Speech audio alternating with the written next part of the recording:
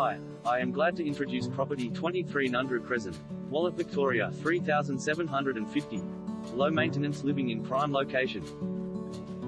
Boasting a wealth of space, this three bedroom plus study home is the ideal setting for a family seeking a home that offers spacious and easy living.